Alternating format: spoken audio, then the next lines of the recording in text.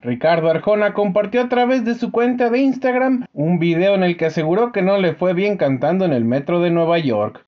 Arjona compartió un video en blanco y negro en el que aparece sentado en un andén del metro de Nueva York cantando pero nadie lo reconoce. Lo mejor que me pasó fue una señora mexicana que me dijo que era el imitador de Arjona, pero que yo era demasiado alto, que el verdadero Arjona era muy chaparrito. Tras la publicación del video, los fans del cantante le enviaron mensajes de solidaridad y elogiaron su música.